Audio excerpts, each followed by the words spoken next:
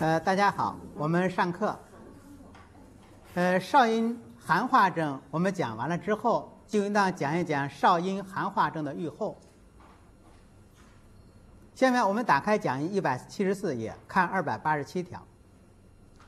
少阴病脉紧至七八日自下利，脉暴微，手足反温，脉紧反去者，未愈结也。随烦下利必自愈。这个少阴病是真阳衰微的少阴病呢，还是伤寒盛伤阳的少阴病？我问大家，是真阳衰微的少阴病，还是寒盛伤阳的少阴病？真阳衰微的少阴病应当是脉微细淡于寐。现在脉紧和我们前面所学的脉阴阳俱紧的那个少阴病不是一样的吗？所以这是寒盛伤阳，以邪气盛为主。以邪气盛为主的这种少阴病，它就可能会自愈；真阳衰微的少阴病是不能够自愈的。所以至七八日自下利，这个自下利是怎么回事呢？这不是真阳虚衰、火不暖土，而是肾阳恢复以后，驱除体内的寒浊邪气外出的表现。脉暴微，脉有紧，这是邪气盛。突然转的不紧了，这个微是和紧相对的。突然转的不不紧了，这提示了寒邪退。所以下利是寒邪排出体外的表现，脉由紧而转的不紧了，转的弱了，这正是小则平，《黄帝内经》所说的“大则病进，脉大病就发展；小则平，脉由大而变小”，这是邪气退的表现。手足反温，那是寒邪退，阳气得以伸张，所以手脚就转暖了。脉紧反去，这不正是提示了邪气退吗？未愈结也。虽烦，正邪相争，有一点烦，但是这个下利必自愈。你把寒湿邪气驱除出体外了，这个下利自个儿就好了，阳气也得以伸张，也就完全恢复了。这是少阴寒化的一种自愈症，但这个症候它不是以正虚为主，而是以邪盛为主。我们在太阴病篇学过一条，说伤寒脉浮而缓，手足自温者，此为系在太阴。太阴者，身当发黄；若小便自利者，则不能发黄，至七八日，随暴烦下利日十余行，必自止。此脾加食，腑会当去故也。还记得吗？那是寒湿汇浊邪气，阻滞于太阴。当太阴阳气恢复以后，驱除邪气外出，表现了下利自愈，啊，通过大便排出体外，然后这种下利必自止，而太阴少阴病篇的二百八十七条也是寒浊在少阴在体内，那么这种病通过什么途径把邪气排出体外？也通过下利的方式。所以太阳病自愈是通过自汗、自拗、战汗，使邪从外解；三阴病属于里症，它要自愈的话，它不能通过汗解，它通过自利。二百八十条我们就讲这么多。之所以可以自愈，它不是真阳衰微的少阴寒化症，它是寒盛伤阳的少阴寒化症。二百八十八条。少阴病下利，若利自止，恶寒而全卧，手足温，手足温者可治。这条我们应当这么读：少阴病下利，恶寒而全卧，这是个寒盛的表现。若利自止，手足温，这是阳气恢复的表现。当然，这个病是可以治疗的。因为阳气没有衰竭，它有恢复的苗头，而下利自止了，这是寒邪已经排出体外的表现。二百八十九条，少阴病恶寒而全，恶寒而全卧，这是寒邪盛的表现。时自烦，一阵一阵感到烦热，欲去一备者，这是阳气恢复的表现。所以能够有这种情况，它也是个寒盛伤阳。寒盛伤阳，所以他躺在被窝里，恶寒而全卧。等阳气恢复了，一阵一阵的有烦热，啊，欲去一备。这种情况愈后比较好。以上这三条，应当说都是寒盛伤阳。病症的矛盾的主要方面在于寒邪盛。下面讲的阳不回不治症，都是以真阳衰微为主。二百九十五条，少阴病恶寒，身蜷而立，手足逆冷者不治，一派阴寒内盛的表现，而没有阳气恢复的征兆。所以我们讲义上把它叫做纯阴无阳的危后。张仲景看到这种情况，他就说没有办法了，他就走了，不给开方了。那我们今天不能这个样子呀。那在急诊室里要全力的中西医结合抢救，如不去抢救的话，那病人的家属会按照医师法去告你的状。二百九十六条，少阴病吐痢、烦躁、色逆者死。这条原文，这个吐痢是肾阳虚衰、火不暖土所造成的。这里是燥烦，少阴病吐痢燥烦，就是我们以前多次所说过的阴盛则燥。若阳勉强和阴寒相争，争而不胜的时候，肢体出现的燥扰不宁，甚至正气衰亡之前那种错空履陷。寻欲摸床，这种躁动是不自知的。再加上四肢逆冷，上过肘而下过膝，一派阴寒内盛，阳不胜阴的表现，当然愈后不良。二百九十六条要特别注意和我们上节课所学的乌珠鱼汤适应症相区别。乌珠鱼汤适应症那条原文是说少阴病吐利。烦躁，四手足逆冷，烦躁欲死者，乌珠鱼汤主之。你看，都有吐利，都有四肢厥冷，都有烦躁。不过二百九十六条讲的是造反，所以呢，你要能够鉴别。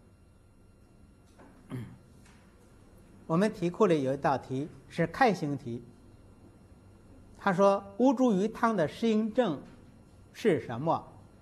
底下列了四条，一个是尸骨欲呕属阳明，一个是干呕吐涎沫头疼者，一个是少阴病吐利手足逆冷烦躁欲死者，一个是少阴病吐痢燥烦思逆者，列了这四条。那么第三条和第四条你一定要特别区别开，因为一个是无助于汤的适应症，一个是少阴。阳不胜阴的死症，所以我们才说乌珠鱼汤症是个少阴病的类似症。二百九十七条，少阴病下利直而头悬，时时自冒者死。这个下立指是阴节与下，阴液的阴，枯竭的竭，阴节与下，没东西可拉了，所以它下立指。头悬呢是阳托于上。为什么头晕呢？虚阳上托，一阵一阵头晕，所以时时自冒。冒字我们以前讲过，《说文解字》说：“冒蒙而前也，就是把脑袋、把眼睛都蒙上，摸着黑往前走，走上一会儿你就头晕了。所以冒字可以引申为头晕，冒字也可以引申为遮盖。像我们《太阳病篇》所说的。发汗后，其人叉手自冒心，心下悸，欲得暗者，那个冒就是遮盖，两个手交叉，暗护在心前区。而我们现在这里讲的时时自冒，这个冒字就指的头晕目眩。那么头晕目眩，这里是虚阳上越，阳托于上的表现。所以二百九十七条所描述的一个症候是阴结于下，阳托于上，阴阳离绝，当然愈后极差。仲宁说死。二百九十八条，少阴病四逆，恶寒而身蜷，脉不至，不烦而燥者死。这条显然是正不胜邪，阳绝神亡，不烦人躁吗？肢体躁动不宁，我们刚才说过了，正不胜邪。阳绝神亡，阳气也绝了，人的精神神气也亡了，啊，所以愈后不良。二百九十九条，少阴病六七日息高者死。息就是呼吸，高就是表浅，呼吸表浅。这不正是肾气托于下，不肾气虚于下，肺气托于上的表现吗？是一个呼吸功能衰竭的表现。中医认为，肺是主吸气的，肾是主纳气的。我们一个正常的人都应当有良好的腹式呼吸，有良好的腹式呼吸，这叫能够纳气归根。他的呼吸是有一定深度的，这叫纳气归根。而当呼吸功能衰竭的时候，他就呼吸表浅，气不归根。中医把它叫做肾气绝于下，不能够纳气。肾气绝于下，气不归根，呼吸表浅，那就是肺气托于上，所以这是预后不良的。第三百条，少阴病，脉微，这是阳虚；细，这是阴虚。沉主病在里，当然沉也主阳虚了，所以阴阳两虚。这是真阳衰微，阴阳两虚。淡欲卧和那个淡欲寐差不多。阴经阳气虚衰，精神失养，意识朦胧，意识淡漠。汗出是阳不摄阴，不烦自欲吐。这个不烦是真阳衰微，无力和阴相争。啊不争则静嘛，就像我们在六十一条所说的“昼日烦躁不得眠，夜而安静”，这个不烦实际上就是不躁，夜里安静的那个不躁。自欲吐，是阴邪上逆的一种表现，啊，阴邪上逆的一种表现。至五六日自立，复烦躁不得卧寐者死。又过了几天以后。出现了虚寒的下痢，又出现了这个烦躁，实际上就是躁烦，又出现了躁烦不得卧寐，这正是正不胜邪，病人临终前的一种表现。上述一二三四五六这六条，后世一家把它叫做少阴六死症。我们北京市。第一次晋升主治医生的中医考试，不知道哪个老前辈出的题，说少阴六死症是什么？啊，结果没有一个大夫能回答。你想想，我们大夫学《伤寒论》的时候，主要学他的理法方药，谁去背他的少阴六死症啊？更何况我们今天判断预后，常常是全面考虑、总体把握、中西医结合来诊断。所以，对少阴六死症来说，今天在临床上的意义和价值就不是太大。更何况仲景所说的死症，有时候我们今天采取中西医结合的方法来治疗，病人也并不一定能够死亡。所以这些东西我们供大家参考就是了，不作为重点要求大家啊要学习的东西。好，少阴寒化症的主要内容和少阴寒化症的预后，我们就谈完了。少阴脏症有两大类症候，寒化症谈完了，我们就该谈热化症。形成少阴热化症的原因，我们已经说过多次了，那就是当病人素体少阴阴虚而阳盛的时候，外邪从阳化热，这就容易出现少阴的热化症。少阴热化症的第一个症候，三百零三条。黄连阿胶汤症。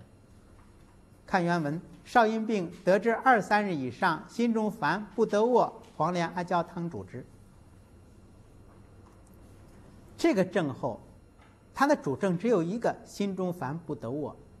这主要是阴虚火旺，心肾不交。他之所以说少阴病得知二三日以上，是他所看的这个病人。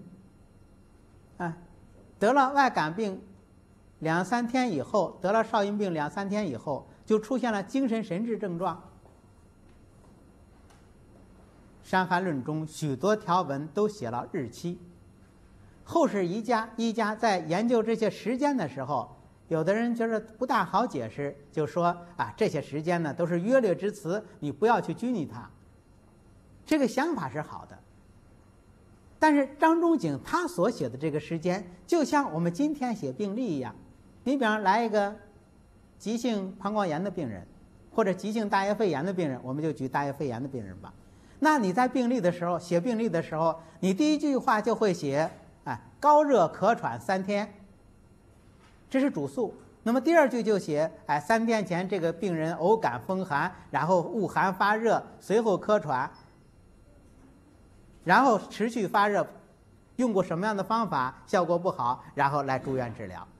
如果两千年以后别人看到你这个病例，也许两千年以后你就成了雅圣了，一种雅圣了。看到你这个病例，说：哎，他写的这个两三天啊，就是。这个发热咳喘三天，你不要拘泥它啊！临床不一定是那么回事儿，你生气不生气啊？所以张仲景所记录的这个时间，人家都是客观的病人，就是个病程的记录。所以我们不要在这个上面说啊，只是个约略之词。他干嘛说约略之词啊？他这个病人就是这样。我说这段话，我想大家听明白这个意思了。所以《伤寒论》中许多这个日期和时间是张仲景观察到病人的实际病程。我们在讲《少阴概说》的时候，曾经提到过一段话，说少阴经的一个分支和心相连，这就沟通了心和肾的相交的关系。在生理情况下，心阳下交于肾。我们也把它叫做心火，下交于肾。助肾阳以温暖肾水，使肾水不寒。肾水也就是肾阴上奉于心，助心阴以制约心火，使心火不亢。这就叫心肾相交，水火既济。当由于某些病理因素造成了肾阴虚于下。不能上奉于心，来助心以以制约心火的话，就会造成心火独亢，这就形成了肾阴虚于下，心火亢于上的这种病理变化。我们说心肾相交，水火既济，在生理上是一个什么样的表现呢？那就是人的觉醒和睡眠交替发生，兴奋和抑制有规律的交替发生。觉醒的时候，精神振作，注意力集中，精力充沛；睡眠的时候，睡眠香甜，能够得到充分的休息。一个这样的人，就是心肾相交的，就是水火既济的。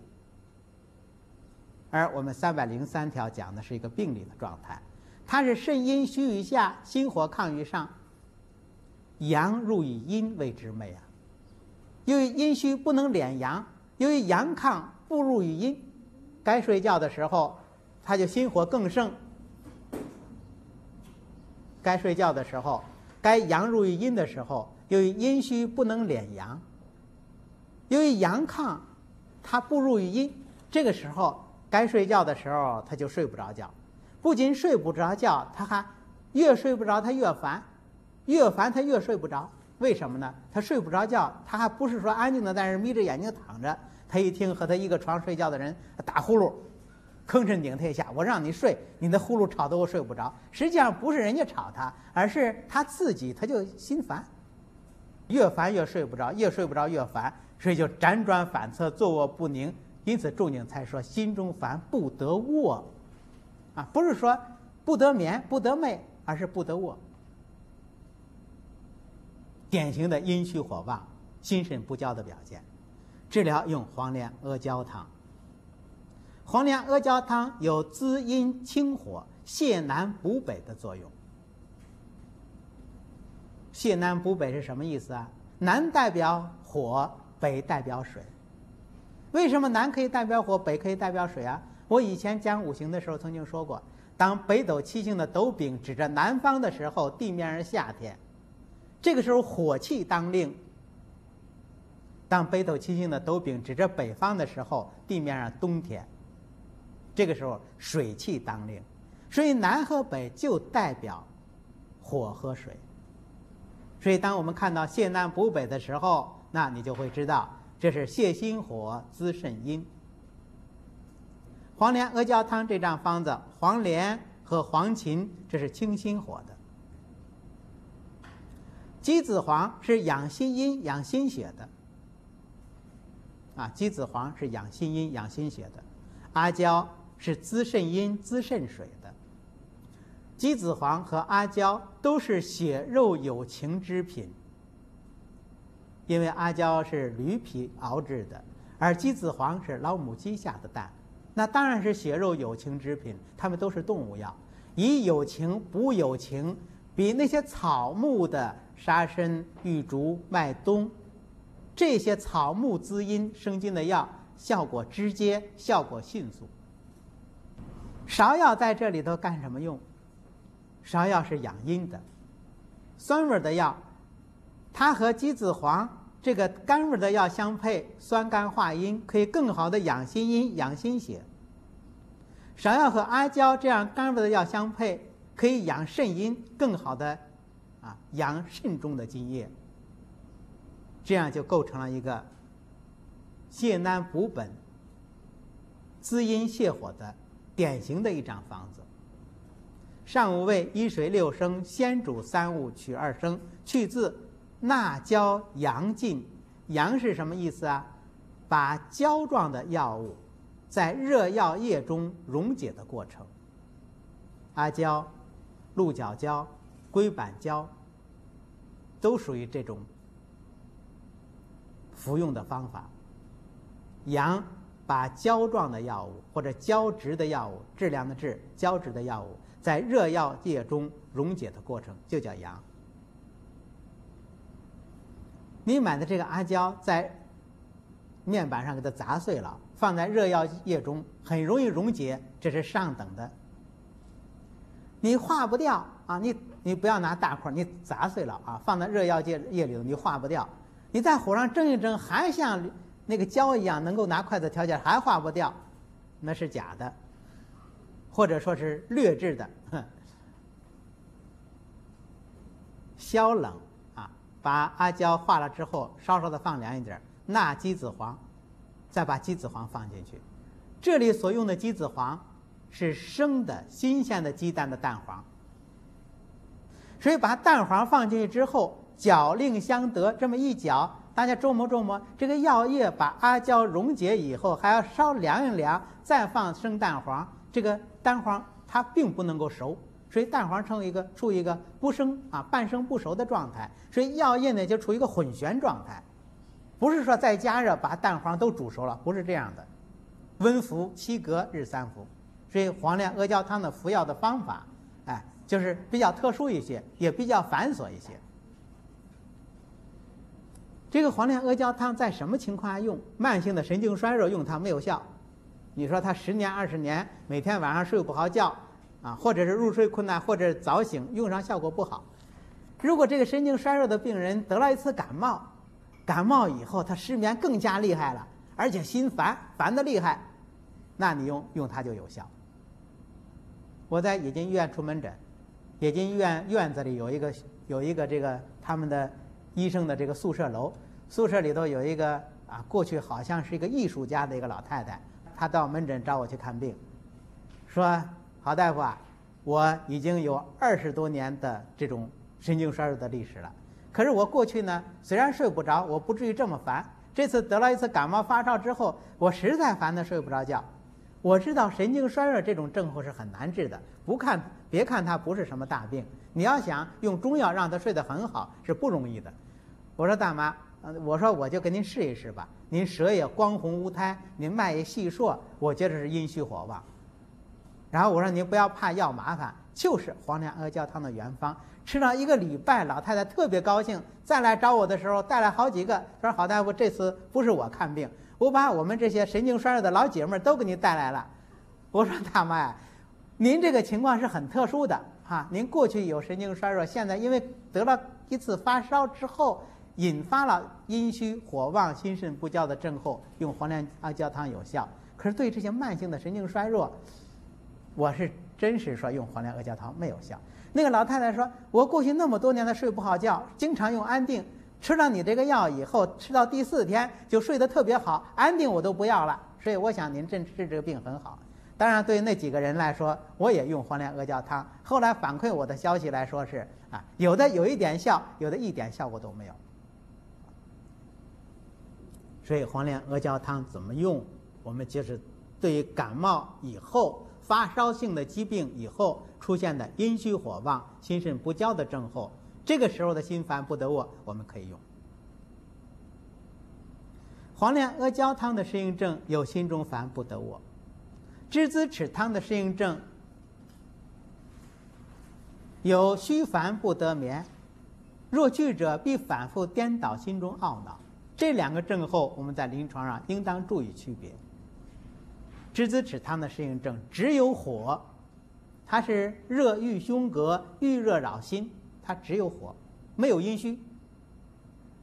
而黄连阿胶汤适应症，它是阴虚火旺，它既有火又有阴虚，这是不同的。少阴热化症的第二个方症是阴虚水热互结症。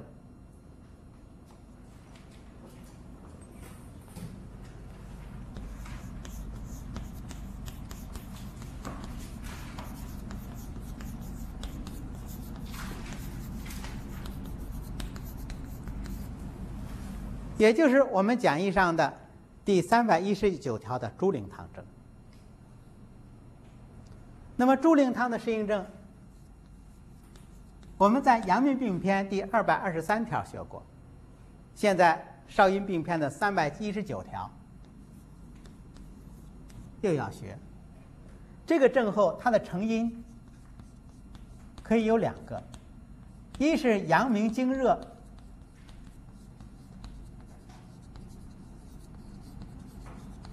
部下伤阴，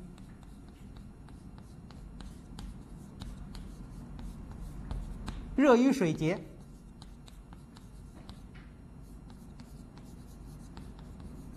这是在《阳明病篇》第二百二十三条学到的猪苓汤适应症的成因。第二个就是少阴阴虚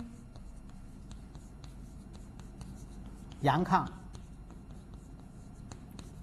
外邪从阳化热，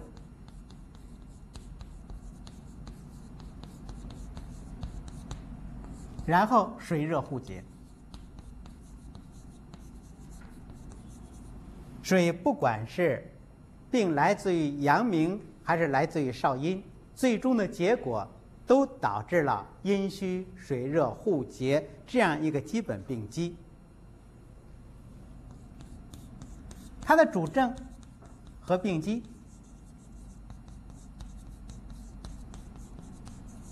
首先是小便不利。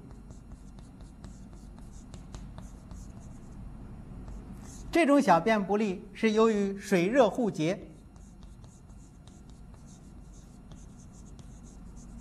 气化不利所造成的。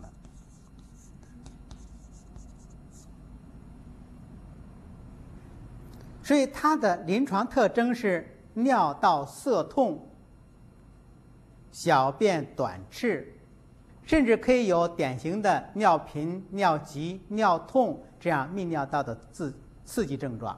当然，中医的书上没有这么说，它就是小便短赤、尿道涩痛。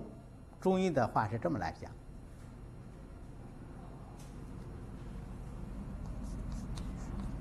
第二个主症是可欲饮水。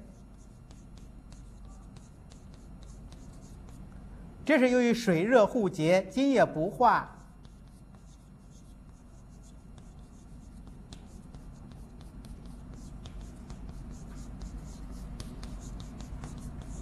同时又有阴伤，津液的缺乏，又有阴伤津乏。我这没有说津亏啊，津液的缺乏，所以它有可以饮水的临床表现。第三个症状是心烦不得眠。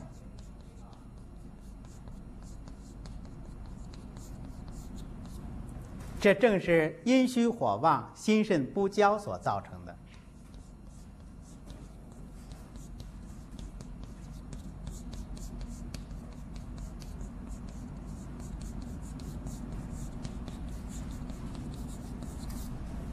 应当说，猪苓汤适应症的三大主症：小便不利、可以饮水、心烦不得眠，啊，这是它的三大主症。除此之外，它还可以见到一些或见症。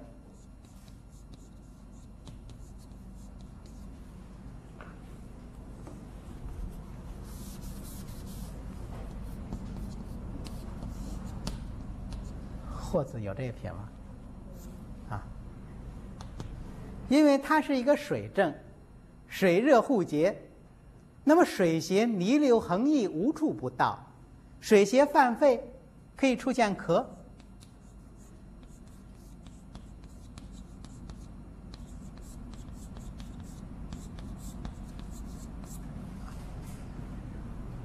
咳嗽是水邪犯肺所造成的，可以出现吐利，这是由于水邪侵自胃肠所造成的。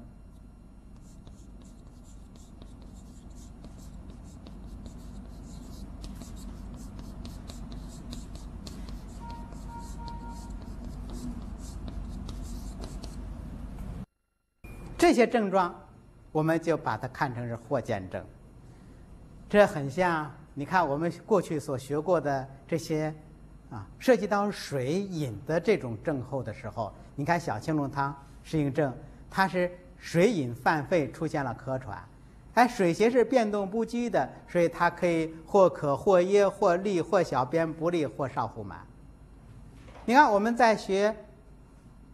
真武汤适应症的时候，阳虚水犯，水邪泥流横溢，无处不到，它可以有咳嗽、有吐利、肿悸、咳吐利、旋动、小便不利。而猪苓汤的适应症呢，它也是水，这个水是水热邪气，它也可以逆流横溢，犯肺就出现咳，哎，犯胃肠就可以出现吐利。除此之外，我们在阳明病篇还提到了它可以有脉浮发热这样的临床特征。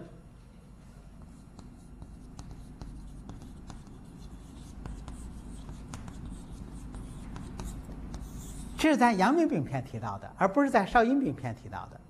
这个脉浮是主热，提示了热邪偏盛。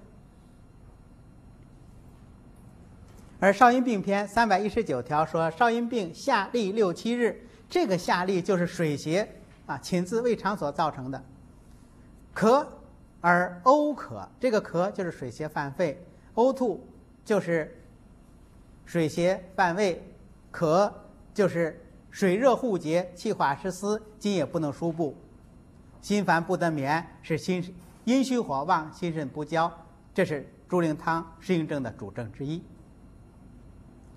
那么治疗用猪苓汤。滋阴利水清热，这个方子我们在阳明病篇已经提到过了。我们学完猪苓汤以后，我们就要注意猪苓汤的适应症和五苓散的适应症和真武汤的适应症相鉴别。这个鉴别呢，我们在前面讲真武汤适应症的时候已经提到过了。猪苓汤我们今天经常用于治疗泌尿系统的感染。当然，尤其是慢性的泌尿系统的感染比较常用。如果尿中的化验红血球多，甚至是肉眼血尿的，我们加凉血止血的药，像白茅根，用三十克到五十克都可以。像仙鹤草，像三七粉，这是以尿的化验红血球为主的。尿的化验。以脓球为主的，那我们常常加一些蒲公英啊、紫花地丁啊。蒲公英这个药很好，你比方说我们用它治疗泌尿系统的这种感染，用上三十克，用上五十克，量比较大，它对胃没有什么伤害。有些其他的苦寒药，啊，下面的感染没有治好，吃完了胃疼上了，哎，蒲公英呢没有这个副作用。有一次我到一个农村去，有一个人啊，农村的人，他有很严重的胃病，胃溃疡、胃疼。我给他开上普通的治胃溃疡的中药和西药呢，他又没有钱买药，说好大夫，你能不能给我提供一种方法，不花钱就可以治我的病？他有胃疼，他媳妇有胃疼，他的孩子有胃疼，这一家子我估计都是那个幽门螺杆菌感染所造成的。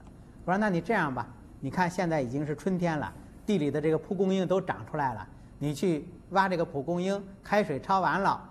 你愿意喝这个水，这个水比较苦，你就喝；不愿意喝这个水的话，把这个菜焯完的这个焯熟了的东西呢，你放上各种佐料，佐料什么蒜末啊、姜末啊、葱末啊，哎，加上醋啊、糖啊、啊盐呢，你就当这个菜来吃。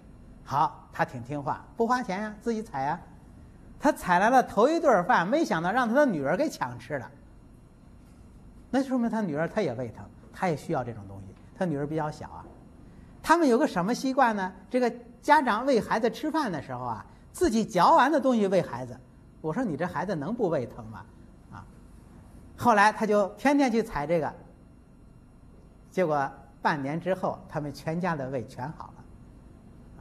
所以蒲公英治疗幽门螺杆菌的这种感染，我觉得是一个很好的方法。但是他采的是新鲜的，我们药房的那个东西到底有多少疗效，我就说不好了。所以猪苓汤经常用于治疗慢性泌尿系的感染，啊，如果是脓球多的，我们就加清热解毒药，像蒲公英、像紫花地丁，啊等等。少阴的脏症中的寒化症和热化症，我们就谈完了。下面按照我们的讲义。我们就来谈谈少阴病的兼变症。第一个是太少两感，第一个症或者太少两感。讲义一百七十九页，原文三百零一条，原文三百零二条，这两条讲的都是太少两感。什么叫太少两感？就是太阳和少阴同时感寒而发病。三百零一条说：少阴病始得之，反发热脉沉者，麻黄细辛附子汤主之。这里的少阴病的表现是什么呀？就是脉沉，这是里阳虚，无力鼓动气血，所以脉表现了一种沉象，这是阳虚最轻的表现。少阴病不应当出现发热。尤其是少阴病刚开始得的时候，它不应当出现发热。当然，少阴病发展到最后出现阴盛格阳的时候，它可以有身热反不恶寒。但是现在病少阴病是始得之，出现发热就是反常现象，所以他说反发热。这个发热既然不属于少阴病，那么它属于什么呢？它属于太阳表症。啊，它属于太阳表症。所以这里他所提供的症状，太阳表症有发热，少阴里阳虚有脉沉，他并没有手足厥冷，胃寒全卧，下利清谷，耽于寐，这个时候就属于我们在讲表里同病的时候，表里症病机关系密切，而里症非大实大虚症，这时候可以表里同治。表里同志用什么方子呢？麻黄细辛附子汤，温经发汗。啊，温经发汗。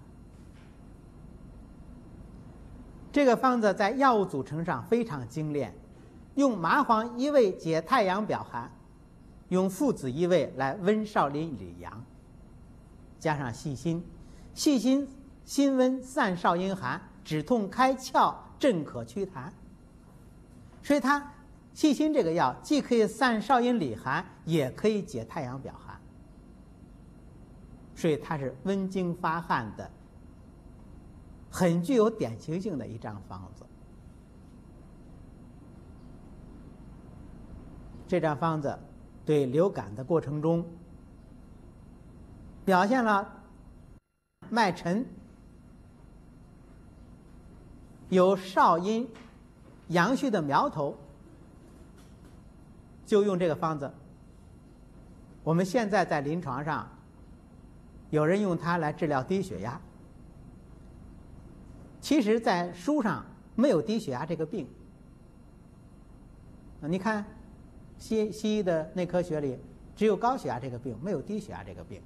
我们在临床上见到有一些人血压偏低，但是他没有任何自觉症状，你不要把它当成一个病来对待。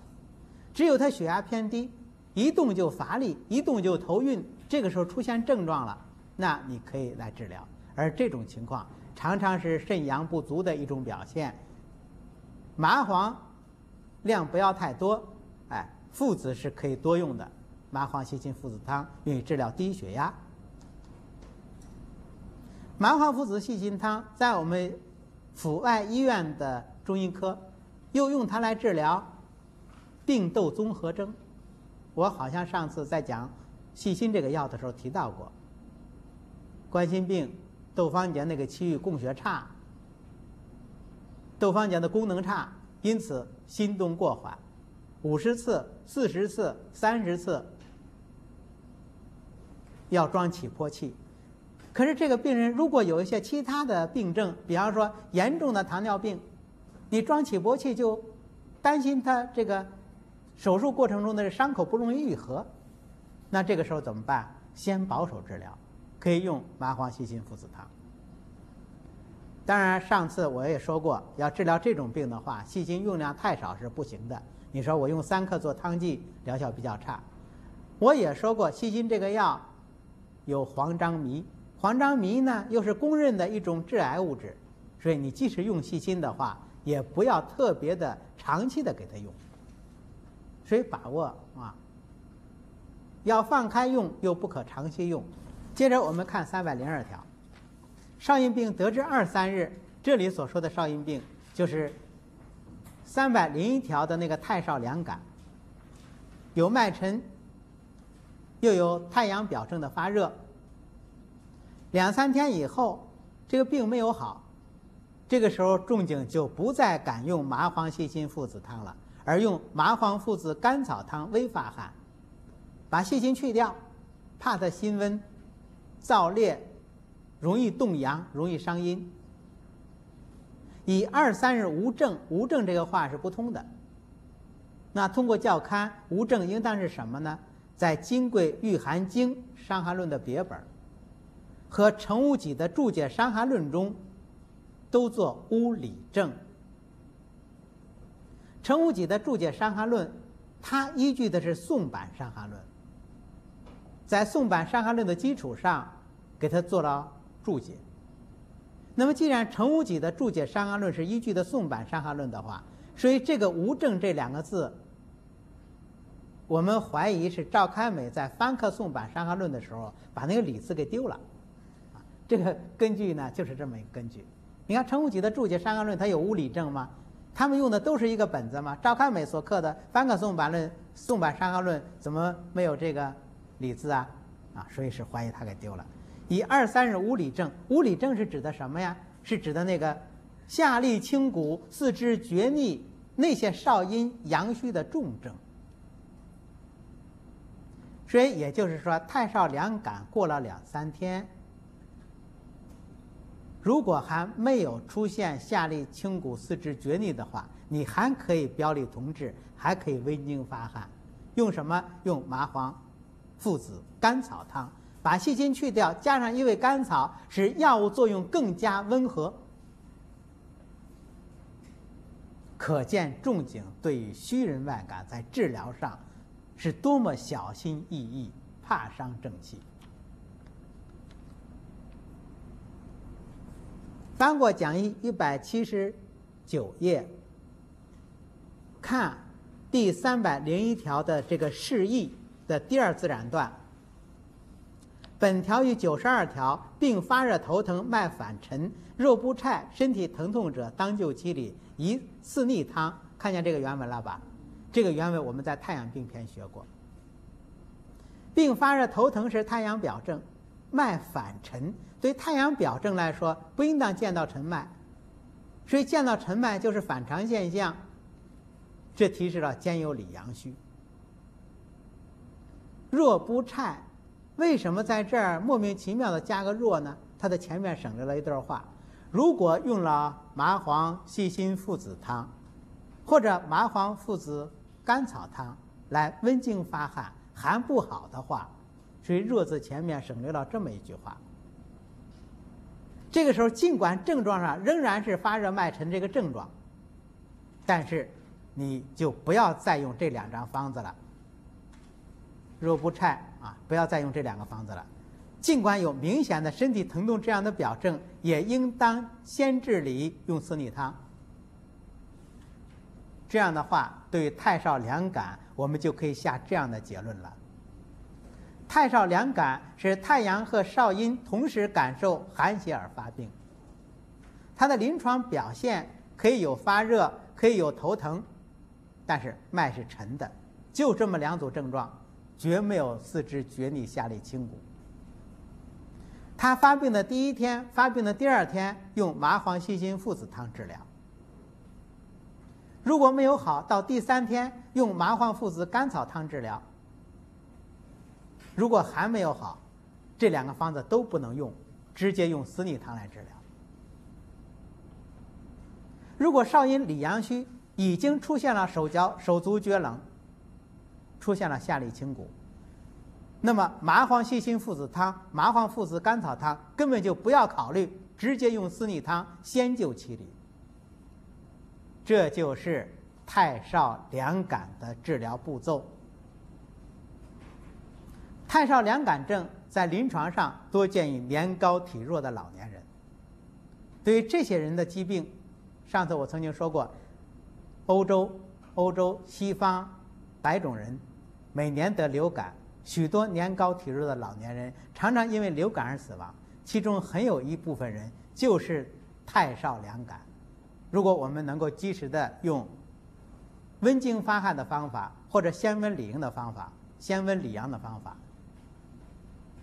那么很可能他们的死亡率会降低，所以欧洲有的国家已经非常重视这几个方子在抗流感方面的应用。少阴病的寒化症、热化症我们谈完了，少阴兼症中的太少两感症我们也谈完了。今天的课我们就到这里，好，下课。